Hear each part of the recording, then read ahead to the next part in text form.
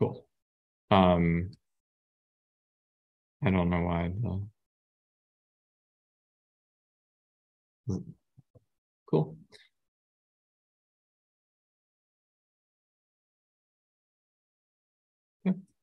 We are allowing people to arrive. Just give it a few more minutes. I hope everyone is well. We will start the event soon.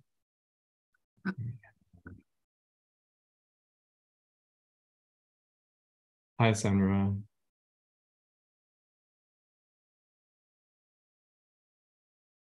Just give us.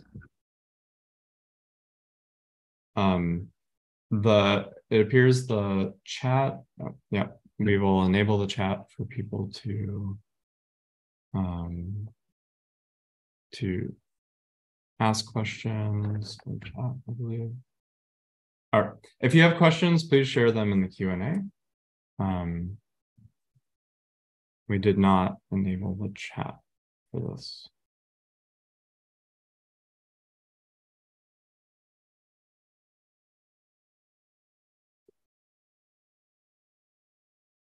Hello, everyone. Give us one more moment.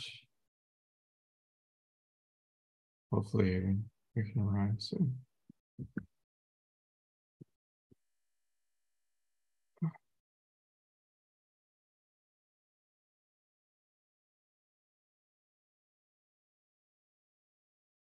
We were experiencing a technical difficulty, so we will start.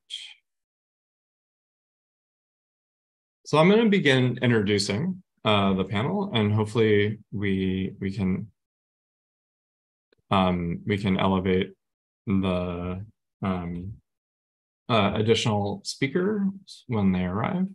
Uh, hopefully we, yep.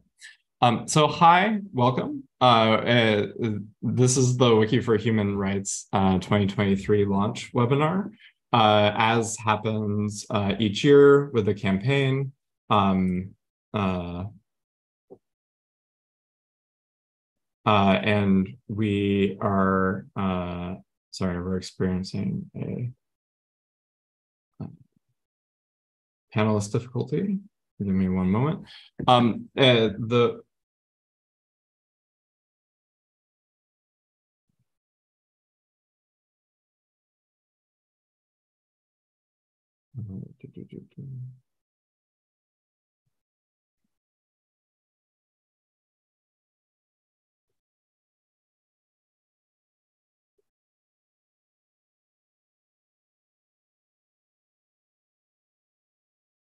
Um, so hi, welcome to the launch event. This is an opportunity for us to discuss the, the uh, Wiki for Human Rights campaign and the themes and topics important to the campaign. Uh, this launch webinar is hosted as a partnership between the Wikimedia Foundation and UN Human Rights. Uh, we are excited to have you here as part of the collaboration. And we're going to do a brief introduction before we get to our panel. And hopefully our uh, other panelists can arrive um, uh, in that process. So uh, we're we're so excited to have you. Um, the what is the Wiki for Human Rights campaign? What is the right to a healthy environment? It's often very important to have this context. Um, it's often very important to have this context as we go into running a campaign. And so this is the introduction. Um, we've been running this campaign for about four years now. Uh, first, with a focus on uh, uh, the general uh, get knowledge gaps about uh, human rights and, and Wikimedia projects. Uh, and it's all based on this one idea that we all have an opportunity to act for the right for our rights by sharing knowledge about the environmental crisis and connecting it to human rights um, this is a partnership as part of UN uh, Human Rights and the Wikimedia Foundation, and we've been supported by UN Environmental Program, uh, which uh, allows us to uh, prioritize and document um, uh, the various knowledge gaps around the connection between human rights and the environment. Um, this isn't just about the legal process of human rights or simply the knowledge gaps about specific environmental crises, right? It's not just about the climate crisis, pollution crisis, biodiversity crisis, but rather it's about how do we prepare for future generations? How do we make sure all humans can live in dignity and uh, in relation to the environment in a healthy, sustainable way? Um, it's really important because we live in a context in a world where many environmental crises, many elements of environmental degradation are are around us uh, every day. It's it's happening everywhere. It's affecting us all, and it's affecting our human rights um, in the process.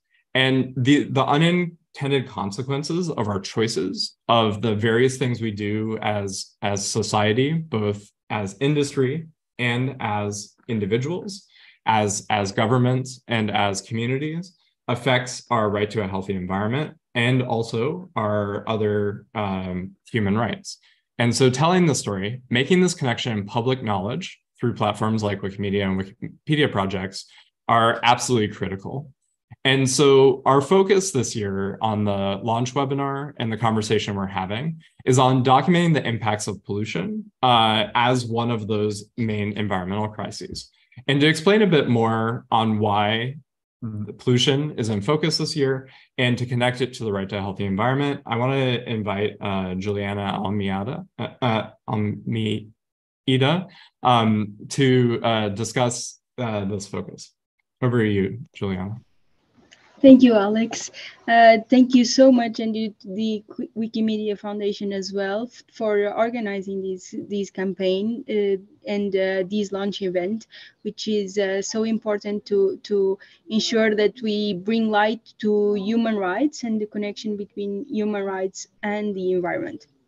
Um, and so, as, as you've been saying, of course, the idea, the goal is to in, include and recognize these human rights based approaches in how we deal with the triple planetary crisis uh, of climate change, of biodiversity and nature loss, and of pollution, which of course is the the the focus of this this year campaign. And so this connection between human rights and uh, and um, and um, the environment has been increasing. And it, it actually culminated, as you've been saying, with this recognition of this human right to a clean, healthy, and sustainable environment by the General Assembly last year. So the General Assembly is the main policy making organ of the UN. And this also follows a recognition done by, uh, in 2021 uh, by the Human Rights Council. So this is the main body in the UN that addresses human rights and human rights violations. So it has been uh, the past two years have been important, very important in, in this context. And why is this right important? It, it's important because it means that pe pe all people have a tool to hold governments, hold big polluters and others into account of their um, environment the environment harms that they cause uh, around the world. And so in these, without going to a lot of detail on the right to a healthy environment, but there is one uh, element that uh, deserves special attention, and that is the access to information, uh, which is exactly what this campaign is promoting and ensuring and disseminating. And so the, pub, the public access to environmental information actually enables individuals to understand how any environmental harm may harm, any environmental harm may undermine, undermine their own rights, including the right to life, the right to health, and also these right access to information and its right uh, supports the exercise of other rights uh, the right to expression the right to association the right to participation to have remedies and so on there's a lot uh, uh, already legally binding instruments that ensure this uh, and more under the under discussion so it's already um, consolidate, consolidated element also at the international level. But now just going, you can move the, the slide, Alex, to the next one. So we can just um, talk a bit on what what is being done to actually address pollution at the international level, address pollution and toxics. And it's the UN and the international community have been doing a lot uh, on this. Uh, but pollution, of course, is not by any means a new phenomenon. Is actually even more extensive, pervasive, and persistent. It affects our health through the food we eat, the water we drink, the air we breathe. And even a report that came out last year um, from the Special Rapporteur on Human Rights and Environment identified pollution and toxic substances as the cause of at least 9 million premature deaths. So there's a lot of work to, to be done. And uh, I'll just go through some, some elements. Here in the photos, you can see actually the, the agreement to start negotiations on a new plastics treaty uh, that is meant to be finalized by the end of 2024. And uh, it's the unparalleled recognition that uh, from the international community that we need to deal with the, the plastics pandemic that we have right now. We, let's think about the plastic islands in the Pacific, the block rivers in Guatemala, the microplastics we have in our blood. So it's really a pandemic that we need also to address.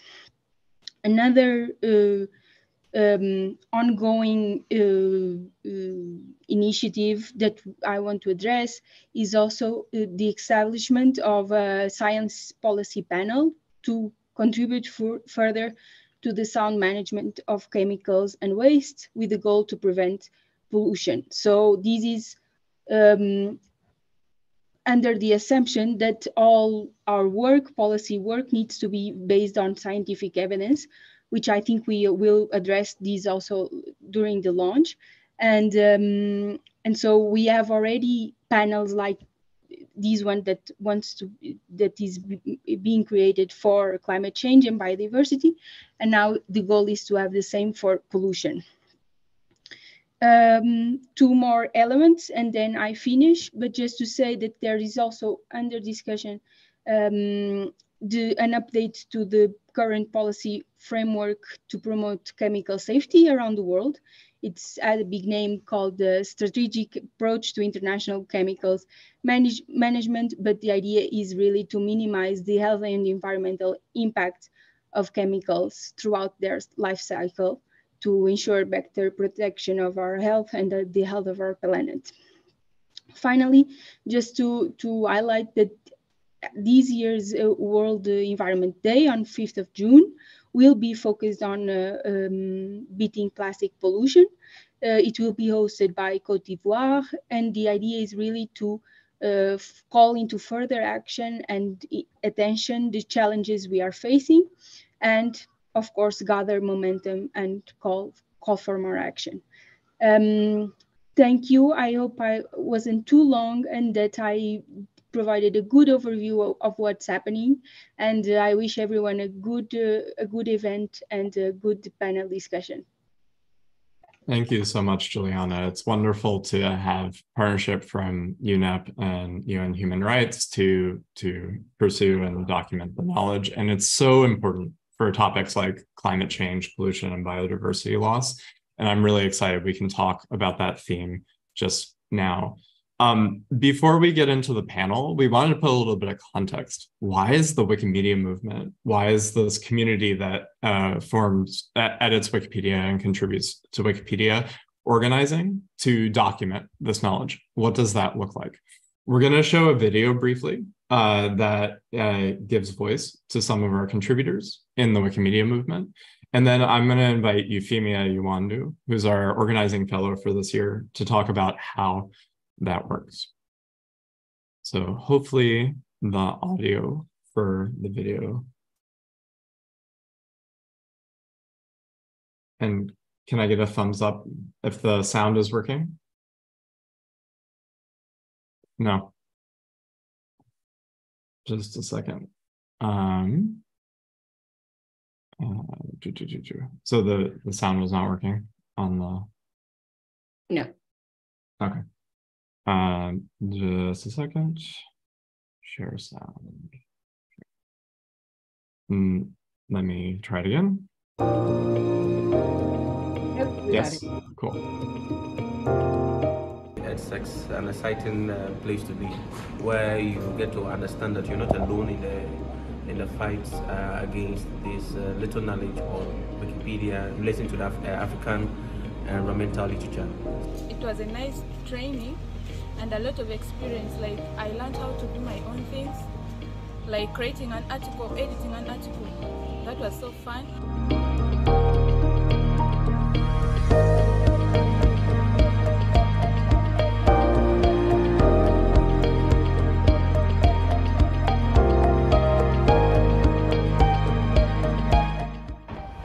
Bueno, un aspecto que es muy crucial es que la crisis ambiental actual eh, tiene un efecto muy fuerte sobre la biodiversidad.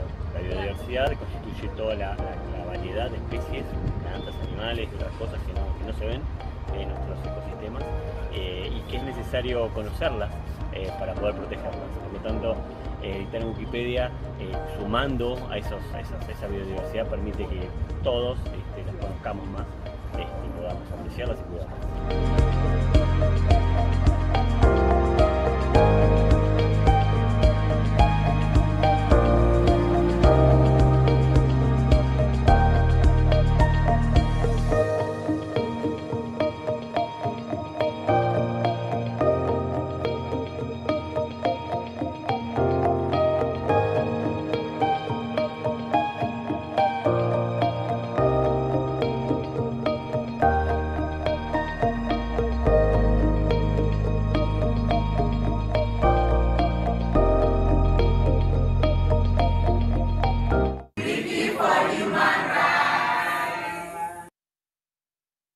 So that was just a brief preview of all the different community activities that we had uh, last year. And I'm going to hand it over to Euphemia to talk about how communities are organizing this year.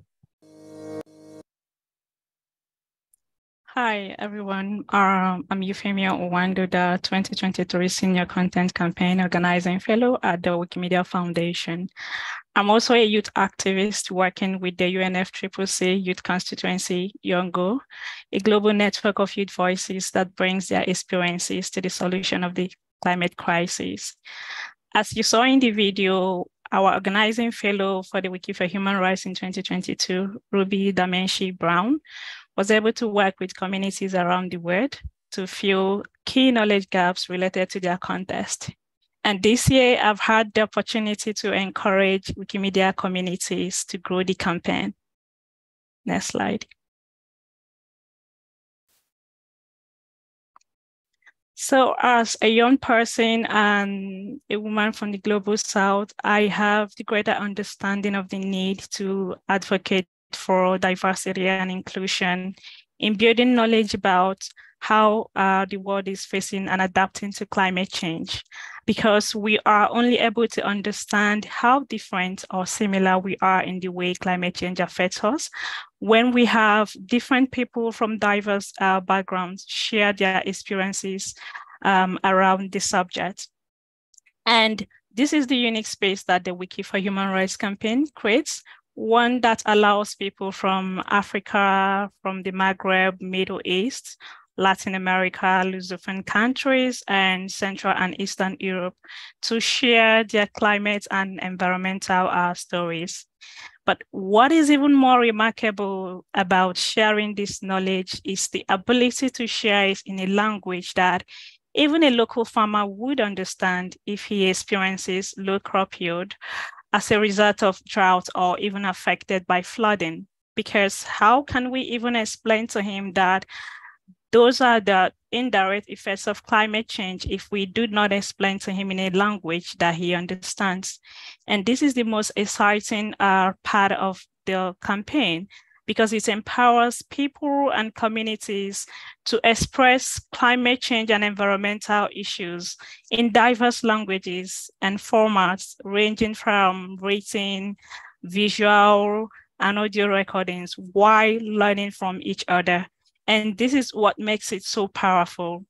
To the Wikimedia communities, it empowers them to discuss the environmental issues in their own context, giving voice to the very problems that they are facing in, in the communities.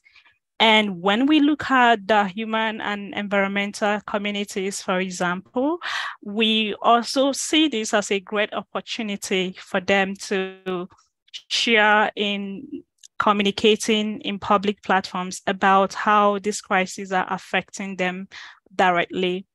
And this is why I'm really so joyful uh, accompanying Wikimedia communities to ensure that every voice and every uh, story is brought to the table. Thank you. And back to you, Alex. And I, I have to say, Euphemia has been doing a wonderful job connecting our communities to the skills and opportunities they need uh, to run these events this year. And a lot of credit goes to her for just creating the best space we possibly can for communities around the world to participate. Um, at the end of the panel, I will share a bit on how we can get involved. Uh, but for now, I want to turn to the actual panel itself um, and introduce you to our wonderful guest panelists. Uh, as I, I'm going to do a brief introduction to each of you, and then I, uh, I'll ask you to introduce yourself as well um, in your own voice, kind of describing how did you get involved in the climate crisis or addressing the pollution, which is the theme of our, our panel, um, and and what what do you do? So first, I want to introduce Monika Stans uh, Kiewicz, uh, who is the um, uh, general um, sorry, I'm getting your title wrong, Executive Secretary of the Minamata Convention on Mercury. Uh, uh, hi, Monika. How did you get involved in this space? Thank you so much, Alex, and good day, everyone. Um, I hope you can hear me well. I'm actually traveling and I do not have a full control on the, uh, on the environment around me, so my light is really bad. I apologize for that nevertheless, I'm, I'm really happy to, to join you and thank you for, for organizing the webinar and again for having me uh, at the webinar. Uh, perhaps I would like to say that uh, my, my, first job was in the uh, public administration in Poland, uh, where I dealt with the protection of the marine environment of the Baltic Sea. Uh, the Baltic Sea is, the, is a small, uh, uh, semi-enclosed sea in the north of Europe, and uh, often it is or was referred to as the most polluted sea in the world. Uh, I'm not sure whether that's true any longer, but through that work, I got to know where the pollution comes from, how it impacts the marine environment. I also uh, had the possibility to witness how through international collaboration, concrete measures to prevent pollution or reduce pollution uh, were taken by the countries bordering the Baltic Sea. Uh, and one takeaway message for me from that uh, period of my life uh, was that it is so much uh, less expensive to prevent pollution than to uh, uh, clean it up uh, afterwards. Uh, and in the Baltic Sea, uh, the so-called legacy pollution, pollution that has accumulated over the decades is a major concern. And one such legacy pollution is mercury. Uh, now I'm working in the Secretariat of the Minamata Convention on Mercury and have a chance to work to prevent a similar contamination with mercury in other parts of the world. So this is perhaps a short uh, introduction how I got to work with the, with the topic of pollution and how I have been uh, doing it actually through my entire career. Thank you. Over to you, Alex. Thank you, Monika. It's it's so great to have you here on the panel and such a wealth of experience. Um, I, next, I want to introduce uh, uh, Jo Banner, who is the co-founder and co-director of the Descendants Project, a, a group working with um, uh, communities in the South of the United States to advocate for their uh, uh, their own protection of the environment and rights. So, Jo, uh, how did you get involved in protect pollution. Hello, everyone, and I uh, I feel Monika's pain because I'm also traveling um, internationally, and and I was I was so con- concerned that I would get the time zone messed up. So I'm happy I am here, and thank everyone for being here, and also that I was invited to be a part of the panel. Um, I'm from Louisiana, from an area known, um, it's my home, but it's also known as Cancer Alley. Uh, that's because my area is inundated with facilities or polluters that produce a lot of dangerous chemicals in, in our air, water, and land. And my community is suffering with that. Is suffering from the impacts of this pollution through high cancer rates, asthma rates that are through the roof, and um, different ailments. So as I saw this happening in my community, um, I wanted to speak out and do the best that I could to alleviate the problem and also prevent any more introduction of uh, polluters. Unfortunately, I have a government that is um, that cooperates with polluters in the name of economy, a false economy, in my opinion, and from what our our information shows. So uh, we're constantly having to fight back against the introduction of more pollution to our area, despite the fact that numerous research has shown our community is suffering. Um, peer-reviewed studies, many really respected information that says that our community has is at its limit. Um, we're, we're drowning and everyone keeps handing us water um, in order to save us. So we, we need another way, we need another path forward. What we have done is um, we've organized our community. We shared as much as we could, as we can about the permitting process, uh, oftentimes communities don't know that there are steps for these organizations or these uh, these companies that come in in order for them to achieve the permits they need to operate. So what we do is we inform our community as much as possible when those permit opportunities exist. And also um, we let them know about what's happening in our air and our atmosphere, what these chemicals do to us, um, and how they are dangerous and what it means to, to suffer from this. Um, right now, we are we're fighting. For example, our latest the project proposed project is a grain terminal um, by Greenfield, Louisiana, that wants to locate into our community. Grain terminals produce a lot of pollution. In addition to that, the size of the pollution, which is PM 2.5, is small enough to enter into our lungs and cause a lot of issues within our body. But those small um, microns also allow other um, dangerous chemicals to attach to it, like um, ethylene oxide or benzene. They can all attach to these molecules and then enter into our, our lungs. I heard an analogy recently that it's like a suitcase, and that's what grain dust will do. Uh, uh, the about 85 tons coming from this facility should it happen. So um, just breaking it down to our community and saying we have to stop this because we already we are already at capacity. Um, we cannot allow any more of these um, industries to enter into our communities. They destroy communities. They break up even our our our livelihood and our happiness and just our human rights to our heritage uh, will be eliminated by this. Um, so we advocate by by educating our community. Also, I go wherever I can to spread the news about what's happening in Cancer Alley in Louisiana. I've gone to Geneva, going to Uruguay, I go to DC. I try to go into my local government um, in St. John the Baptist Parish, but unfortunately, we are given the space to even advocate on a very local level because our government has been so captured by corporations and polluters. So we have to go all over. I mean, I'm in Mexico City right now. Um, but wherever we can spread the message and and and encourage an intervention, that's why that's where me and my my sister Joy, who's also with me, that's where we go in order to to do whatever we can to get assistance.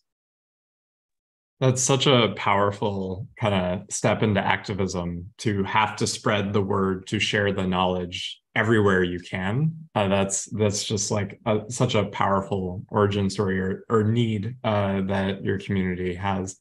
Um, I also want to introduce Soledad, uh, who also works uh, actively with local communities. Uh, Soledad is the vice president of the Asociación uh, Nacional Recicladores de Chile, which is a community of both formal and informal uh, uh, recyclers and waste gatherers in Chile. Hola, Soledad welcome. And uh, can you introduce yourself? Hola, muchas gracias. Bueno, ya me presentó Alex. Eh, soy de Chile, soy recicladora de base. Eh, en Wikimedia eh, está escrito qué es lo que es un reciclador. se dice ahí en Wikimedia que un reciclador es una persona que recolecta, separa y recicla residuos de todo tipo, desde los plásticos, metales, eh, cartones, celulosas en general. Y, fue una eh, importante definición que Wikimedia pudo eh, presentar en sus páginas, en su plataforma, porque de alguna forma u otra se visibiliza a un actor invisible. Yo soy recicladora de base hace 17 años, pertenezco a la Asociación de Recicladores en Chile, soy presidenta, soy parte de la red latinoamericana del Caribe y de recicladores de base, donde estamos 17 países.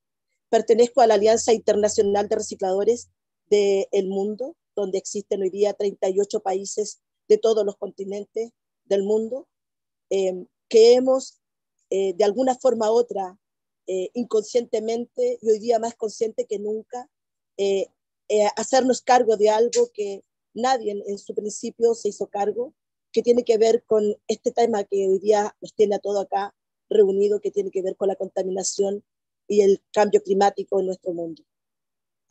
los recicladores de base hemos recolectado por muchos años miles y miles de toneladas.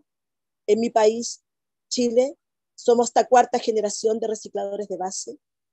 Existen hasta sexta generación de recicladores en otros países que no hemos hecho cargo de estos residuos de una forma, como les digo, inconsciente, por una necesidad económica. Los recicladores de base somos consecuencia de modelos económicos de nuestros países, donde lamentablemente nuestros derechos humanos, nuestros derechos básicos son totalmente vulnerados eh, en una cosa tan básica y tan primordial como es la subsistencia y la sobrevivencia para poder vivir de forma digna en nuestros países. Lamentablemente eso no existe y nos obligó a salir a la calle a mirar las bolsas de basuras o los tachos de basura que muchos de ustedes sacan a la calle para que pase el camión y se los lleve. Desde ahí nosotros miramos un material valioso, un residuo. Y también somos parte de un grupo humano muy importante que participa y que trabaja directamente en los vertederos a cielo abierto, donde nuestros compañeros tratan de recolectar y sacar la mayor cantidad de materiales de esos lugares. Cuando se pregunta cuál es nuestra forma de apoyar o ayudar este proceso, esta importancia de este cambio tan importante de paradigma entre nosotros los seres humanos, frente a un escenario tan complejo como es el cambio climático, podemos decir que nosotros, los recicladores de base, los pepenadores, los catadores, los recolectores, los cartoneros, como se nos llama en distintos lugares, nos hemos hecho cargo de esto hace mucho rato. No hay forma de cuantificar la labor de un reciclador que lleva 60 años recolectando residuos, evitando que miles y cientos de toneladas terminen en el río, en el mar o incluso enterrados en los vertederos. Nos hemos hecho cargo de esto eh, de forma eh, muy necesaria para nuestra vida económica, sustentando nuestros hogares, pero hoy sabemos también la importancia de lo que hemos hecho durante tanto tiempo. En, Nairobi, Kenia, 5.2, logramos posesionar a los recicladores de base como un eslabón primordial, si no el primero, de la recolección de residuos y de este impacto tan importante que es eh, la contaminación por plástico. Lamentablemente, en nuestra vida diaria, de la recolección que hacemos, nos vemos también afectados directamente por la contaminación por plástico. La generación que se produce a través de los gases de efecto invernadero que se generan en los vertederos e incluso en las mismas bolsas de basura que ustedes sacan a la calle, eh, impactan en la salud nuestra. Sabemos que los plásticos hoy día tienen una gran contaminación de químicos que generan cáncer y enfermedades renales importantes, incluso a nuestra piel. Por eso es tan importante entender cuál es la labor de estos hombres y mujeres, que no somos pocos. Somos más de 20 millones de recicladores en el mundo. Hoy día estamos tratando de incidir en la UNEA, en este tratado tan importante que es el Tratado de Plástico. Pero no solamente desde la mirada económica y la vulneración de nuestros derechos, sino que la vulneración de derechos humanos de nuestro sistema, de nuestro ecosistema, del medio ambiente cómo se han vulnerado los derechos no solamente de seres humanos, sino que también de las grandes especies que existen en este planeta, llevándola al exterminio. Hoy tenemos una importante labor, pero esa labor es importante siempre y cuando se reconozca quiénes son los protagonistas y los pioneros de este proceso, que sin querer nos hemos hecho cargo de algo que nadie se quiso hacer cargo y que sin querer hoy día tenemos una labor tan importante que es la recolección.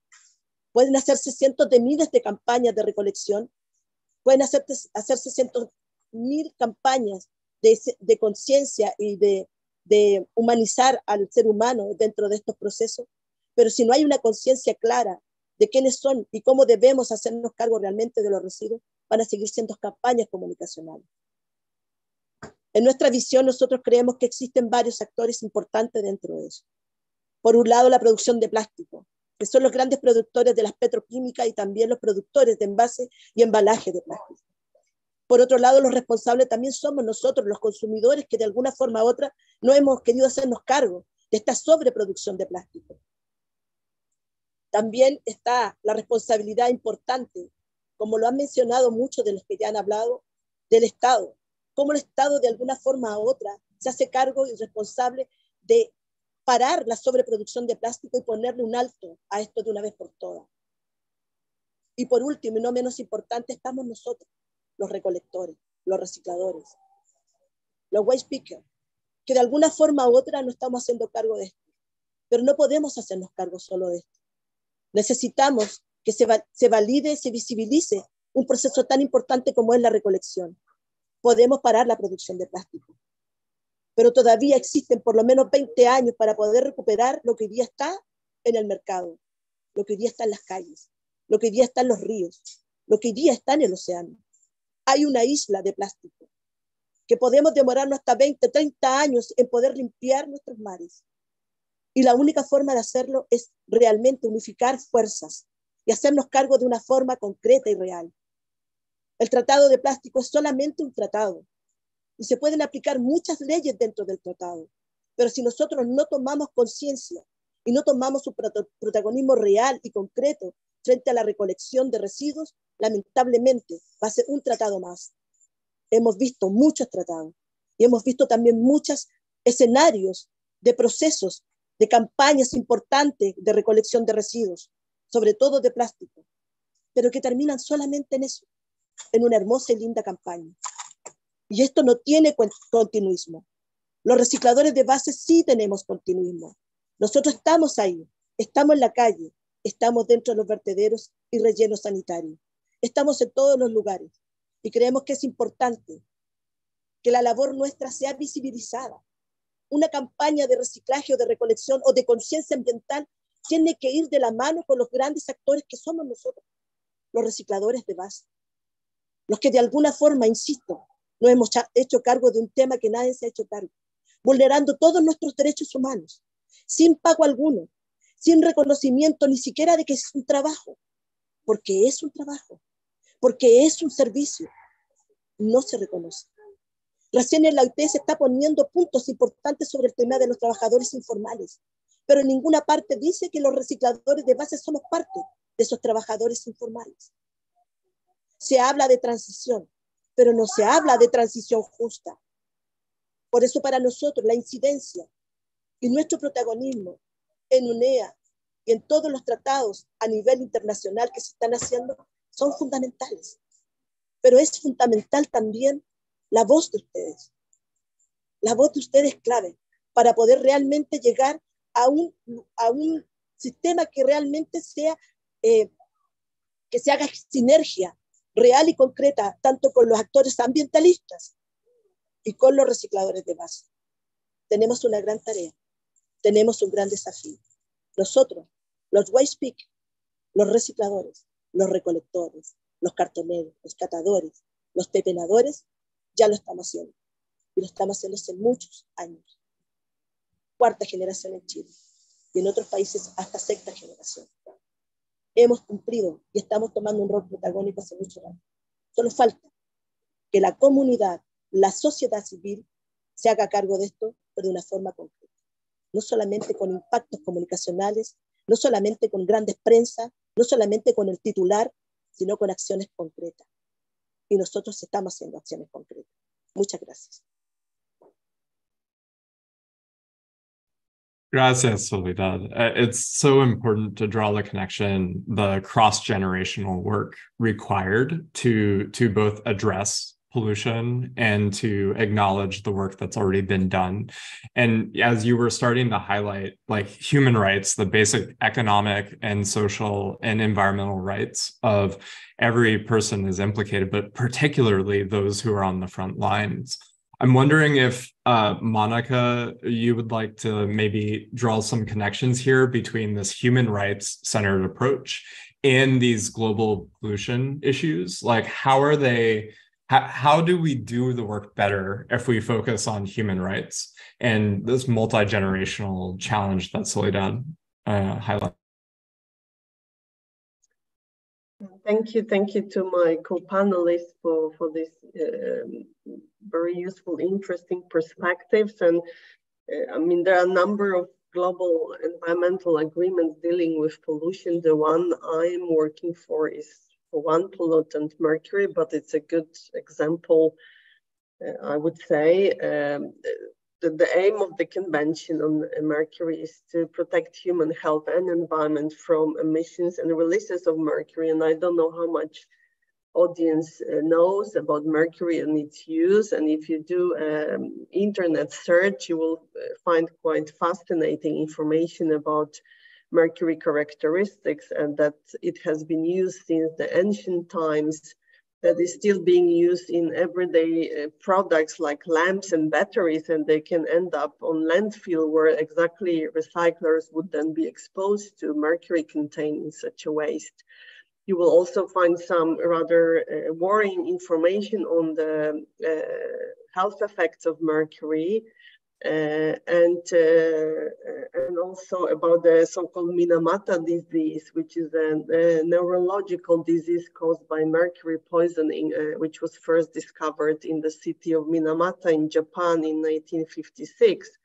And it was caused uh, by one form of mercury that was released from industrial wastewater uh, from a chemical factory. And the convention takes uh, its name after this place in Japan.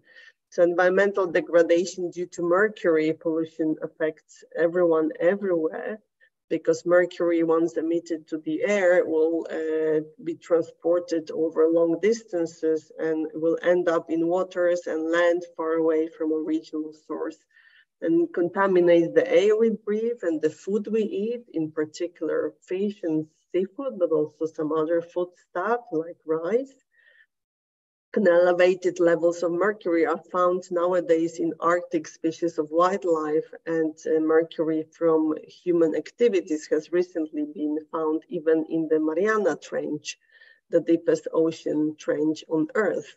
So the current mercury contamination prevents people on the entire globe from enjoying a right to clean, healthy and sustainable environment but particular maybe or the biggest human rights concern is how marginalized people or people vulnerable to impacts of mercury exposure are disproportionately affected by mercury pollution and other other type of pollution. And more concretely uh, pregnant women and children are especially vulnerable to impacts from mercury exposure as mercury uh, impacts nervous system uh, of fetuses and children and affect their development. Also, people and communities relying on traditional foods for their nutrition, such as fish and mammals, are especially at risk.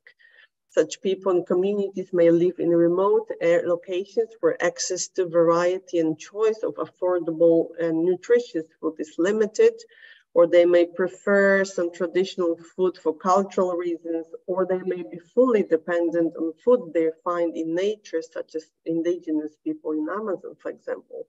So here their rights to food are affected. Uh, marginalized and vulnerable people are indigenous people and other communities, including uh, women and children living nearby or engaging in so-called artisanal and small-scale gold mining and processing where mercury is used. Mercury is very easy to use to extract gold from ore. Uh, it amalgamates with gold and such amalgamate is then burned to separate gold from uh, mercury, then which is then released to the air. And such a burning is uh, of amalgamate is uh, often done in residential areas and poses a direct threat to health of people. And just give you why I'm bringing this artisanal and small-scale gold mining, just give you a perspective that this is a huge uh, sector of informal economy engaging some 20 million workers, including four to five million uh, women and children in many continents around the globe. Uh, and uh, some root problems of this is that uh, indigenous people and other communities engage in this informal mining due to lack of other livelihood options to learn their living. Uh, often they are not aware of health risks and such communities need to receive support to shift to other livelihood options or to shift to other extraction methods.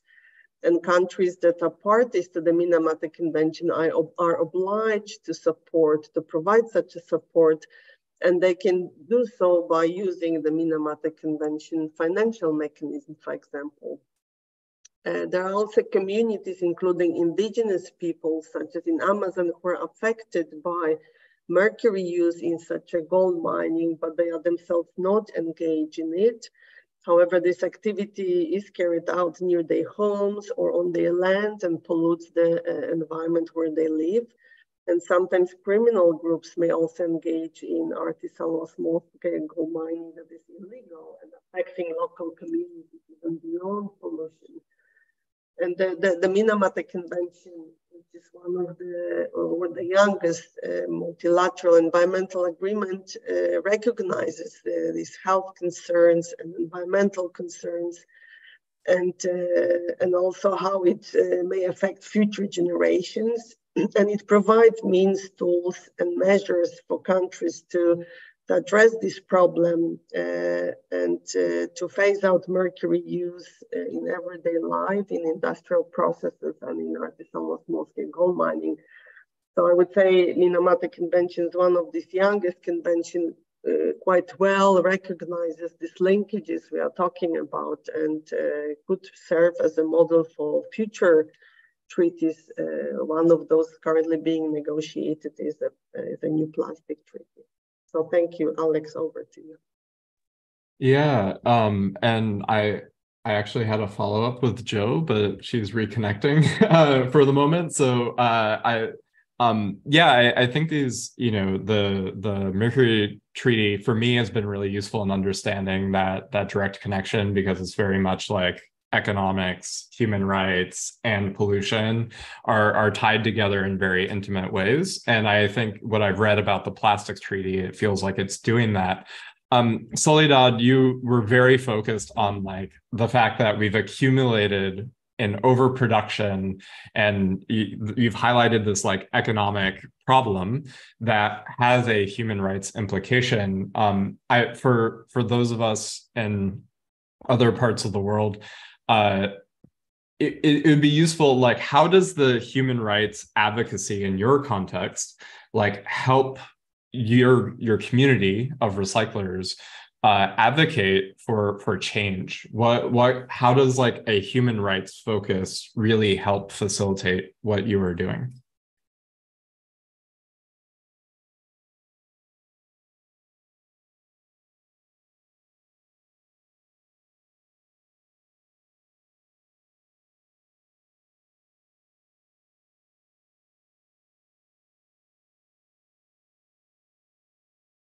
might be a slight delay in translation. Uh, for for Soledad, uh, my my question is, uh, how are the human rights concerns in your area work like? How how does it actually affect the the work you're doing?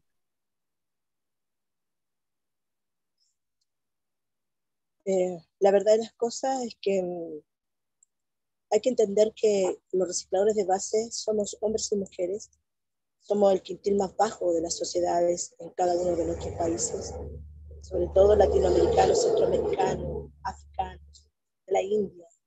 Eh, y, la vulneración pasa primero que nada en la forma en que nosotros trabajamos, trabajamos de forma realmente esclavizante, eh, sin ninguna protección ni seguro de ningún tipo.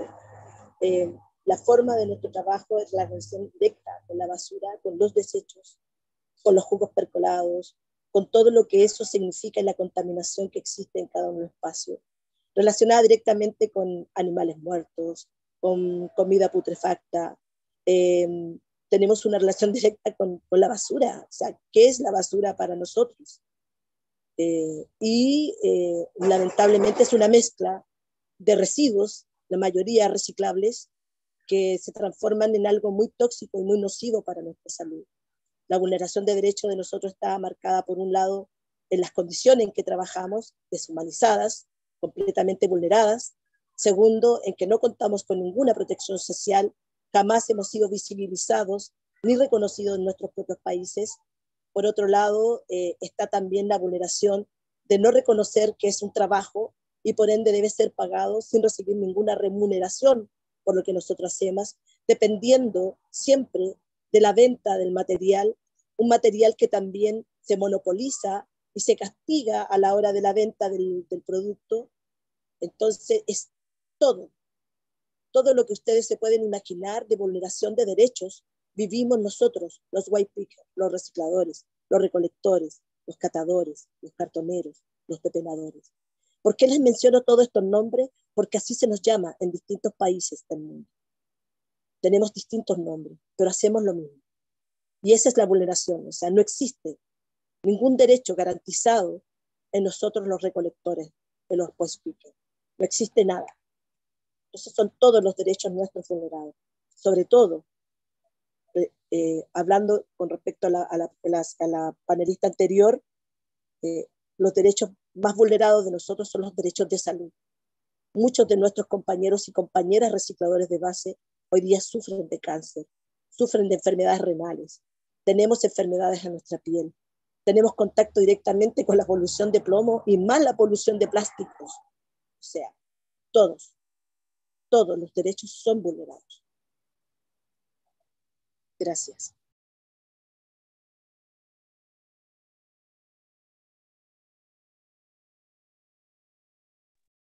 Thank you, Soledad. It's um, really important to acknowledge that these informal roles uh, often make it hard to articulate what protections you do have, right? Um, and so advocating and for recognition and acknowledgement of those rights it seem it sounds very important. And and the more I've learned about waste pickers, seems like the center of a lot of the advocacy. I'm I'm wondering for Jo, you know, I I'm also originally from the United States, but I now live in Uruguay, which has more of a human rights tradition, like what Soledad mentioned. I'm wondering how human rights helps you advocate for like the human rights framework, the approach um, is related to kind of your advocacy to address pollution and and those kind of yeah do you understand the question? Sorry, a slight shift. But for me, like human rights was a surprising way to address environmental issues at first as an American, and I, I I'm wondering how that's affected your work. Uh, I think that's a really it's a good point to to talk about that as Americans um, or in the United States. How often we don't see what's happening in our communities um, as human rights violation. Uh, we just think that it's part of our our um, circumstances and it's not as bad as what's happening in other places because we don't understand or we don't think that these situations could happen in our country. Um, so having that definition of human rights and having uh, having us real and much is really important.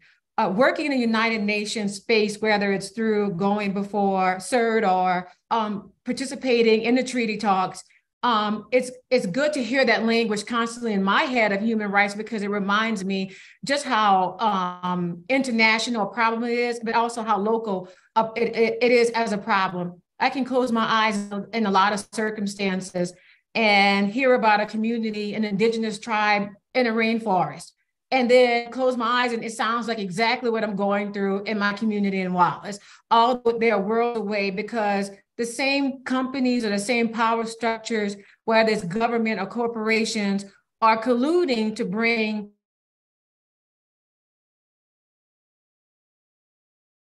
our economy. And there's no attention is being paid to what those conditions present to the local community. Um, I descend, the name of our organization is the Descendants Project because it talks about, because we wanted to point to the fact that we were descendants of the enslaved Africans who were brought to this country. Um, so I'm sorry, it, it, can y'all hear me um, or see me? I'm, I'm kind of unstable. Okay, just wanted to make sure. Yeah, well, it, it points back to the enslaved Africans.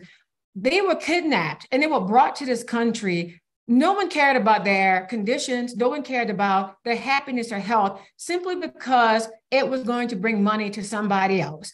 And what we see happening is the same violation that happened to my ancestors is continuing to happen to the descendants of the enslaved. The human rights are not being acknowledged or um, considered in the same way that communities that are not connected to the enslaved Africans are, are able to express. Um, so it's just important to highlight that just as slavery was an international um, production, an international make money, so is what's happening in Cancer Alley. There's international players. I could walk on the levee next to the Mississippi River and I'll see ships from all over the world exporting and importing dangerous chemicals. I can see industry that is owned by people in Denmark or in Russia or where have you. That's all along the river in my community of Wallace. Um, and they're all participating and violating human rights in that country, but I know at least they're violating it in, in my community in Cancer Alley. Thank you, Jo. That it's it's so important to see uh, those connections. It's not just a matter of like developed or undeveloped worlds, global south, global north separation. These human rights problems transcend boundaries. And because they're environmental issues, they're global issues, right? Um, and I think this leads actually really well to the next question. You know, as you all heard from Euphemia, our communities are focused on creating space and events to document things, document experiences at different parts of the world. And there was a question uh, for you, Monika, too, about how mercury pollution is just like, like not communicated to the public. There's often these, you know, people don't know that it's happening. And I'm wondering, you know, when we're creating space to document, when our communities are organizing to tell stories or write Wikipedia articles, what kind of information is most useful for you monika and like disseminating knowledge about the the pollution crisis uh, at the international level? And then we'll we'll ask uh, soledad and jo to kind of describe that for their communities as well. Well i would say that um, naturally what what was important when the convention was created and continues to be important is to have a scientific information and evidence.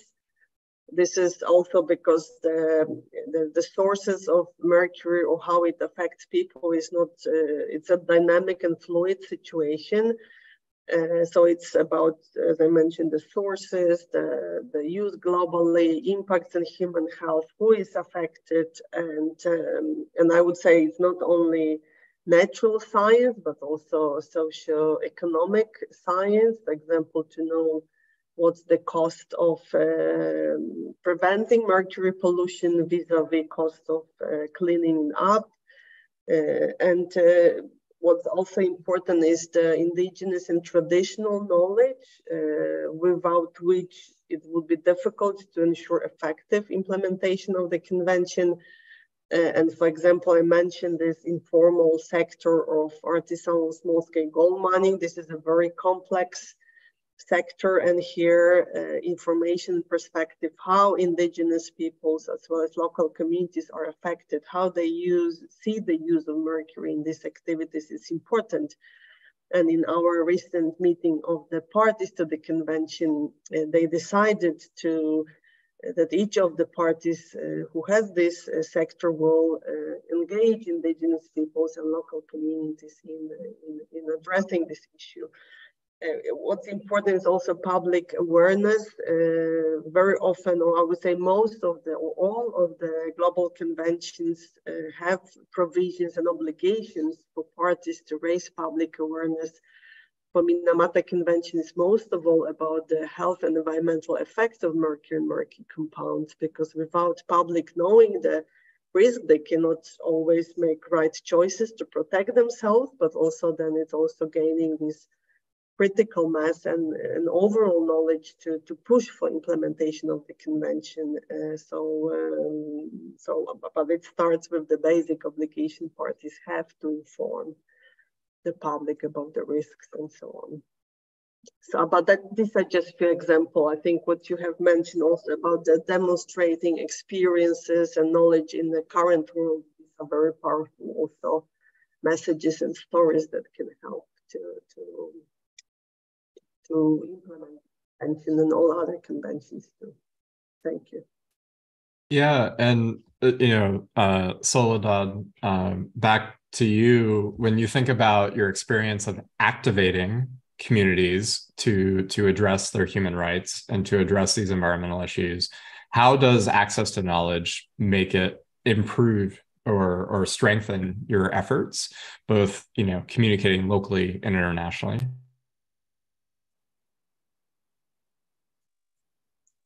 yo creo que para nosotros primero que nada lo más importante es uno visibilizar eh, a estos actores, a este sector, a esta comunidad.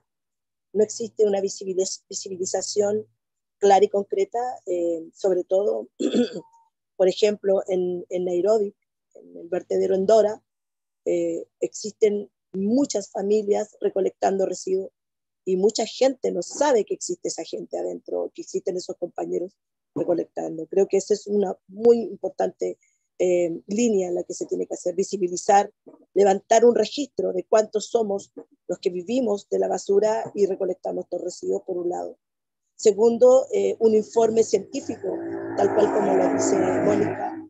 Es clave levantar informes científicos, entender el impacto que esto genera en la salud y no solamente los que vivimos de la basura, sino los que viven en el torno a la basura, porque todos los rellenos y vertederos están eh, ubicados en sectores rurales, en sectores indígenas, en sectores eh, de comunidades pobres y no en lugares de ABC1, de gente con mucho dinero o acomodada. Jamás va a haber un vertedero cerca de ellos.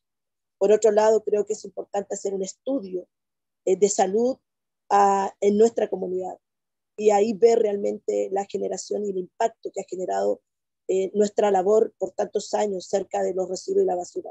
Yo creo que se podrían sorprender mucho de eso. En Chile existe una zona que se llama Arica, donde eh, hay minas de, cobre y también en algún minuto hubieron minas de oro. Y irresponsablemente estas transnacionales eh, vertieron todo el polvo que generaban a través de, de estas minas haciendo los procesos químicos o científicos de estos productos para transformarlos en lo que ellos querían para poder hacer su comercio. Y eso terminó en un cerro.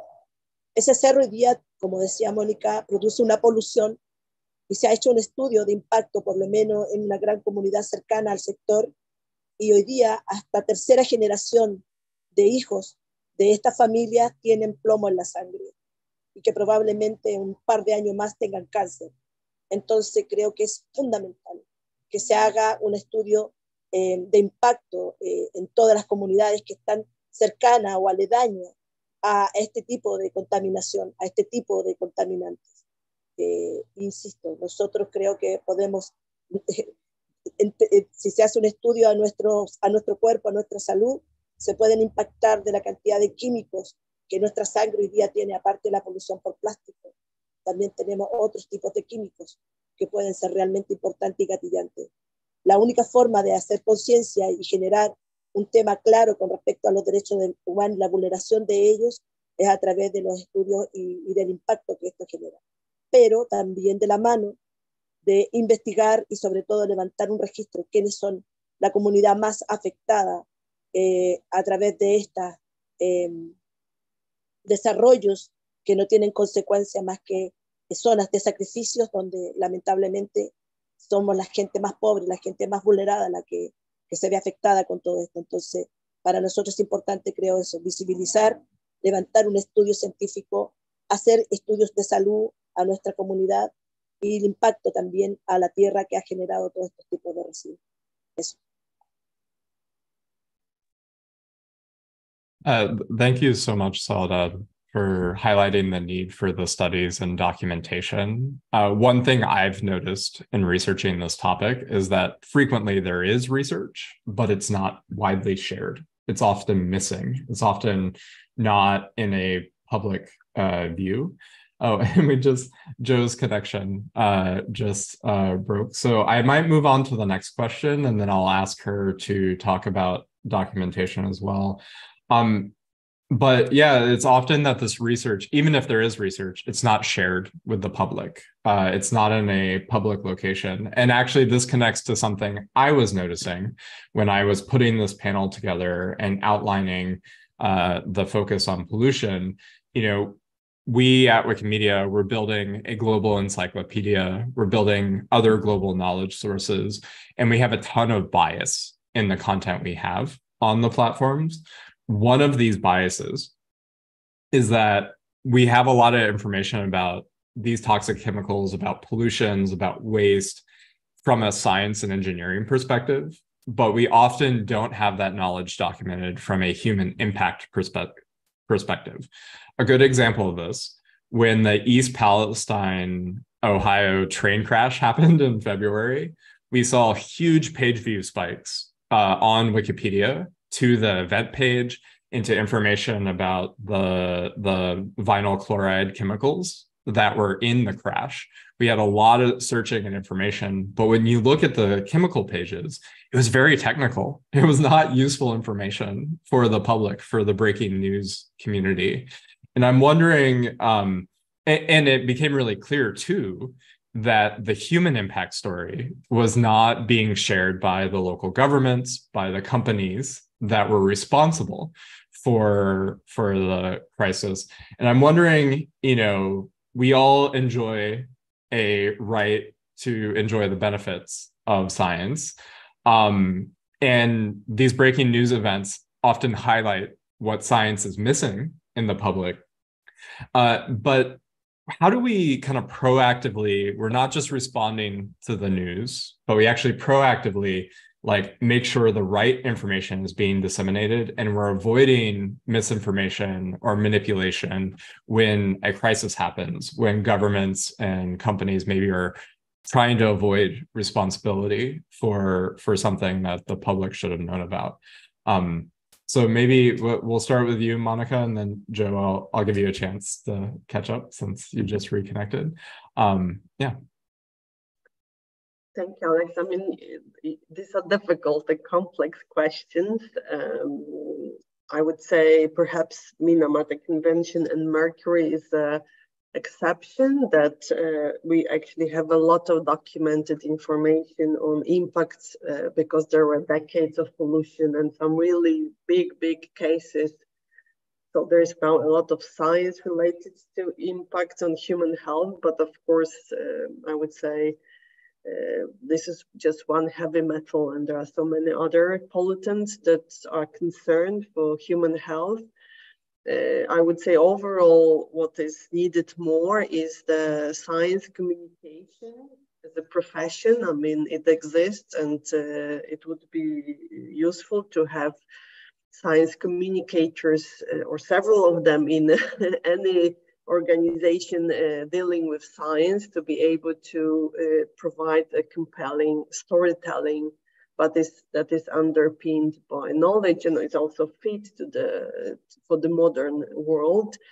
Um, we need also provide, and that's something what Euphemia was mentioning about empowering. So this information has to be provided in such a way that it empowers, that give uh, positive examples, hope, concrete suggestions what can be done in everyday life to avoid exposure to chemicals, let's say. And I would think also it's important this information also contextualize. So how it does fit to the bigger picture uh, about the world we live in and how it needs to change, how the economy has to be transformed to nature and the, the, the services nature provides are valued, polluters pay, pay principle is fully applied and a changed an economy that is no that is no longer based on fuel fueling endless consumptions. I would say the detailed effect, but in the context of the bigger truth about how the change has to happen. And I would say overall also uh, people are interested to know about uh, hazardous substances because uh, it, of course it affects uh, everyone everywhere from the domestic cleaning products, food we eat, air we breathe. So just give you an example, mercury thermometers, the, the ones I think many of you have had used in the past where you can see the silver liquid inside the thermometer. This has now been phased out thanks to the Minamata Convention and uh, from 2020 they are no longer being produced. Uh, and that's awareness that once such a thermometer breaks, I mean, that's not a good idea to play with mercury that is contained in it. So, uh, so it's a, it's a, it's a simple thing one can do and avoid buying them in the first place, but as an example of something that uh, that is useful for everyone to, and they know how to use that information in their everyday life. Thanks. Thanks, Monika. Yeah, I, I, like in researching this topic, I feel like lead and mercury have more consensus on like, yes, the science is easy to communicate and the public is aware of it. I, I'm wondering um, for you, Jo, like this this question of manipulation of information or making sure the right information arrives in your community and is understood. Um, how how do you think about like what what is needed how how do we make sure that the right knowledge is there all the time not just when like a crisis happens in your community well for me uh, for our organization what we we i think there's some education that needs to happen and what and how information what what parts of the information are being communicated because sometimes just when we have facts and we have research what's happening from the data that's only certain data sets are being presented or the limitations of a measurement for example air monitor is not um, explained because just because you're not finding a particular element or chemical in your air doesn't mean it doesn't exist. It just means that the instrumentation may not be able to pick it up. So that's a difference between saying, yeah, we didn't find it, and the fact that, or the fact that you don't have the instrumentation to find it. So, like, it's just being able to explain all those different layers of information and also pointing to what we're seeing happen um, by companies is that there's a lot of greenwashing. Um, so they're taking particular elements or, or positions based on one, one fact or one part of a fact. They're not really going deep into that fact because when you start to drill down, you'll start to see that it's not really what it's purported to be or, or the, the business or the industry that they're trying to bring in. Um, so it helps we tell our community is to don't just take the surface level of the information, even for us. Even we want our information needs to be validated. That's why we use peer review research. We use really credible sources.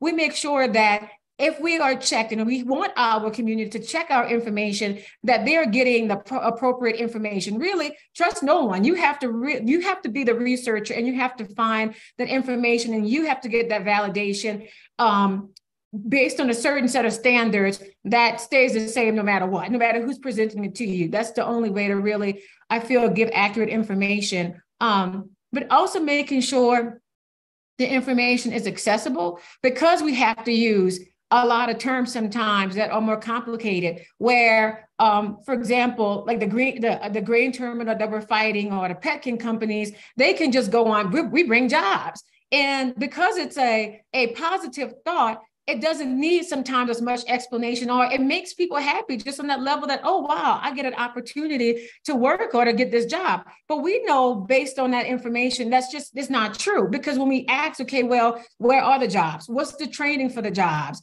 Um, what's the like the, the amount of jobs? What's the average salary? That brings in a lot more measurables or a lot more elements to consider. It makes the the answer though a little more complicated. So i think they get to deal in simplicity, well, we have to deal in more complicated because it's just a more complicated answer that needs to be um, given. Um, what I think would help our communities is I something that when we go through storms after like Hurricane Ida, which was the the la- last um, hurricane we went through in 2021, there's a mobilization that happens. So we get these vans that come um, where there's FEMA, where there's other different agencies, and they mobilize in our communities. They have laptops and they have computers set up, but they also have the experts there on hand to help walk the community through the information through the process. I think having information available um, more often like that about environmental justice, about human rights, whether it's a, a, collaboration with Wikimedia, something that we can do together to have these resources available um, to communities would be helpful. Also, not forgetting the fact that a lot of people um, still use printed material, especially in areas like mine where you may have older um, citizens. So having some uh, through line with printed material and virtual, so you know it makes it easier for communities like me to communicate that information um, to everybody, so everyone has a fair access to it. Thank you, Jo. I, I, think it's so important to focus on these different formats for access. As Euphemia highlighted, to like having it in your own language matters a lot. Having it in simple language matters a lot. Having it in like the variety of formats, both video and written, matters a lot. And it's really powerful to have like disseminate in as many formats as possible. I'm wondering, Soledad, for your community, how how do we prevent disinformation, misinformation from being the dominant story uh, for for these environmental issues that you're facing and the human rights issue.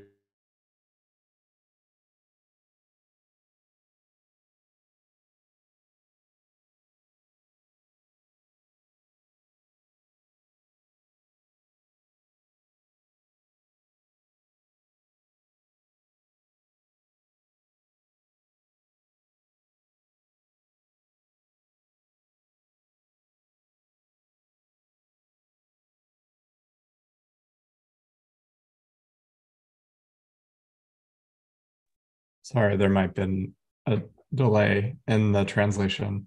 For Soledad, uh, how how do we make sure that disinformation or misinformation about your issues and context isn't the main thing being shared? Yo creo que uno de los puntos que tú mismo planteaste, Alex, tiene que ver con el, la forma del diálogo.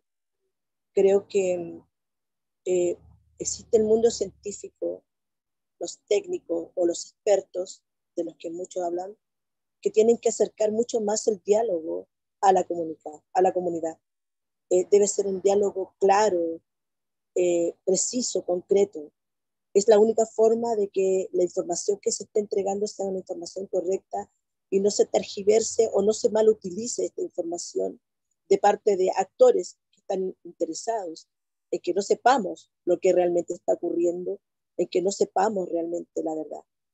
Eh, se necesita empoderar y apropiar eh, lo que está ocurriendo, em, no solamente en, espacios reducidos, sino que en todos los espacios. El informe no debe ser un informe violento, no debe ser un informe como, como estamos acostumbrados a aprender la tele, ver la noticia y lo primero que sale en la noticia son crímenes, eh, atrocidades, guerras y un montón de cosas. Tiene que ser una información eh, mucho más alentadora, tiene que ser una información también con esperanza, con, mucha esperanza, con una oportunidad de, realmente asumir y hacernos cargo de esta transformación o este cambio que queremos hacer. Em, eh, la, noticia tiene que ser una noticia muy directa, muy concisa, es la única forma de que los actores que hoy día están tratando de desinformar a través de, de, sus mecanismos comunicacionales, no nos arrebaten la verdadera noticia. Pero para eso se requiere ese acercamiento con la comunidad. Se requiere eh, tener un diálogo mucho más eh, a nivel de, la comunidad, no tan elevado. No, tú mismo lo dijiste que en el fondo yo también he visto informes que, que para mí es chino mandarín, no lo entiendo, no lo logro comprender y necesito saber qué realmente lo que está pasando. Por eso el diálogo tiene que ser muy cercano. Y por último, creo que educar, educar, educar. Creo que tenemos esa gran tarea de, entregar herramientas para educar a la comunidad y darle todo el conocimiento o toda la eh, eh, claridad posible que tengamos nosotros para ellos entiendan lo que realmente está ocurriendo y se hagan parte de esto y que la desinformación no sea la que gane eh, en este escenario tan complejo que tenemos hoy día. Sabemos que una de las herramientas más grandes que ocupa el sistema político o el sistema económico es la desinformación, las comunicaciones. A veces dicen que la comunicación es el cuarto poder. Yo pienso que es el primer poder porque es el que entra a tu casa, el que se comunica directamente contigo a través de la televisión, a través de la radio, hoy día a través de las redes sociales. Entonces, la comunicación tiene que ser muy clara, pero muy, muy cercana, con cosas muy concretas para poder ganarle a la desinformación. Por lo menos esa es nuestra visión y esa es nuestra mirada desde acá, de donde nosotros entendemos la vulneración de los derechos que hoy día el mundo político y empresarial no quiere que la comunidad lo sepa, que la comunidad esté abierta y despierta a esto. Eh, los celulares son una herramienta de dominación, todos lo sabemos, pero tenemos que ocupar esta herramienta de dominación a favor nuestro que nos permita llegar al resto de la comunidad que está conectada. Y uno de los eh, aliados más importantes en esta eh, comunicación eh, que sea real y clara y que le ganemos a la desinformación es la juventud. La juventud que se está manejando con las redes sociales de una forma realmente con una rapidez importante y creo que ahí tenemos un, instrumento muy importante. Yo lo veía en la exposición y en el video que presentaste, cómo la comunidad juvenil se hace parte de algo. Ellos son los que van a hacer que esto pueda cambiar. Por eso la comunicación tiene que ser bajo esa línea, bajo eso tenemos que adaptarnos a lo que se está moviendo. Esto se está moviendo rápido, a favor o en contra, pero tenemos que ocuparlo a favor. Y para eso se requiere también que los científicos, los técnicos, los expertos viajen, bajen su diálogo, sea mucho más claro, más concreto, más conciso. Eso, gracias. Thank you so much for that perspective. I think simplifying and bringing things down to the local context is so important, especially when we want to think about the next generation of defenders of our human rights and activities. Um, I want to give each of my panelists an opportunity because we're approaching the end of time to just briefly, you know, is there anything you want to highlight or we didn't discuss uh, that you want to say in conclusion? Um, I'll I'll start with Monika. Would perhaps refer to something that was discussed and what Jo said, that this is nowadays a responsibility of everyone really to seek information, to understand and build your own knowledge. And unfortunately or fortunately, this is how it is. And I would say for anyone to lead a healthy and sustainable life, really it's a skill to build to know where to look for information and what kind of information to be able to distill it and find the, the right one. So in the past, this was just something useful to have. Nowadays, it's necessary basically to, to survive. So the, the responsibility is definitely shifted to the reader and to the person. That's how I feel, and I think that's how the nowadays world is. I would encourage everyone really to to make use of that uh, for their own uh, benefit. Thank you so much. Thanks. And and Jo. Yes, and thank you. Um, I think of this um, just to use the analogy of of a chess game, and um, when you think when you're playing chess, um, we know one thing that the chess pieces can move, but the board, those squares never change. They're always stable. But no matter what, how the chess player whatever strategy he has, he has to contend with the way that the board is laid out. I think our human rights are the board um, of clean air, clean uh, water, land, no pollution. That's the board that the game of chess should be played on instead of being the chess pieces that we have it now. We should not have those elements in the field of play to be checkmated by money or by someone else's happiness over ours. So I think really making sure that those elements never are part of the game, but instead the foundation of the game and everything else those pieces have to move around that because the, the, our human rights are immovable. But knowing where the boundaries are that the information can help us really strengthening those boundaries of the board of that that foundation so that we know when someone is trying to invade and making sure we keep those pieces in check. So having that free flow of information knowing how to um, challenge permits, knowing what permits are needed, and a plethora of all the other information that exists um, on this planet and having a resource like, um, you know, like our websites, like the internet, are very important to make sure that we keep ourselves protected and and making sure that, um, yeah, we just know we know the strategy that's also being used against us. So yeah, just really thank you for allowing me the opportunity to be here. Uh, that's so wonderful. I, I always think of Wikipedia as kind of the floor uh which we like launch all conversations on. It's like it's the public knowledge that's out there that people can access and it's our job to raise that floor make it make it clear where the where the the baseline is. Uh soledad do you have any closing thoughts? Sí, solamente quiero um, decir que debemos ser actores reales de cambio y debemos accionar este nuevo paradigma. Pero para poder accionar este nuevo paradigma, debemos visibilizar esto en todos los rincones del mundo, sobre todo la vulneración de los derechos humanos. Y lo que significa eso en términos de contaminación, no solamente para nosotros como seres humanos, sino también para nuestro planeta.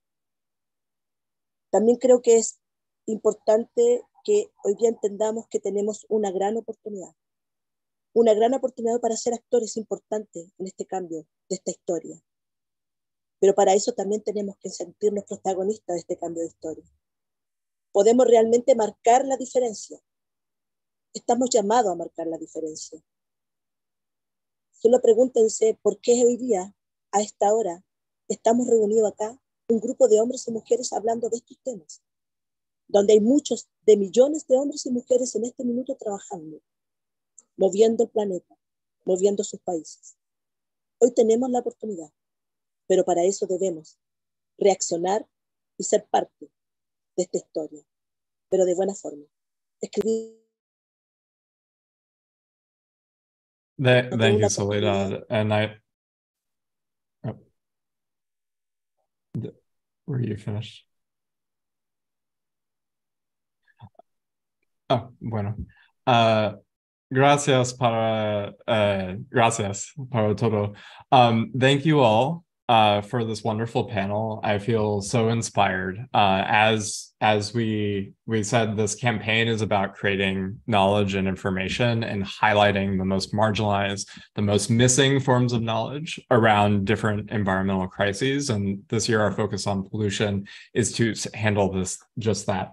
I realize we're a couple minutes over the end of the panel, and I want to acknowledge that and just with a lot of love and grace, uh, I appreciate all that you have brought uh, to this panel. Um, and I hope we're doing justice and capturing your voice in that work. Um, and I hope we can continue to do that as we create documentation um, on Wikimedia projects about the knowledge gaps uh, here. Um, I'm briefly going to show everyone uh, how you too can get involved in the campaign. Uh, this panel is just the beginning of uh, the conversation. And in order to uh, participate on Wikipedia, I realize most people in this audience are existing Wikimedia contributors. And so if you're already a Wikimedia contributor, the best thing you can do is you can join us on this um, uh, meta.wikimedia.org slash wiki slash wiki for human rights. and click on the join the challenge page. You can write content now. You can translate content. You can document these stories now that are really impactful for for uh, different audiences, marginalized communities, communities that their their the impact on their human rights are not being acknowledged uh, yet. Um, or uh, other environmental issues that affect all of us. You know, as Monika mentioned, there are many, many excess deaths all around the world because of the various environmental crises we're facing. This is not just something that affects marginalized communities, but it's about all of us and future generations. So documenting those stories on the Wiki for Human Rights Challenge. And if uh, you're you're newer to the movement and you want to learn more about how you can contribute, we do have community events around the world that often have newcomer trainings and uh, kind of opportunities and instructions, and you can join one of those community events. Uh, we we have uh, this year a lot of coordinated events in Central and Eastern Europe, Africa, the Middle East, the Maghreb, uh, Latin America and the Portuguese speaking context. And so uh, if you want to join us, uh, you can go there. You can also reach out to myself or uh, Euphemia to ask questions and clarify. And again, uh, you know, I hope everyone goes off into the world feeling empowered that we can document and share information and stories to address these environmental crises. Um, I am often overwhelmed by the climate crisis and the pollution crisis and the biodiversity crisis. And I know one step, one thing I can do to address them is to work on, to contribute to Wikimedia projects, to share information that's needed with just a few more people. And so I hope you too feel empowered to do that. Um, and thank you for attending the, the session. Uh, I hope you have a wonderful day. Gracias. Thank you so much. Gracias. Bye. Gracias.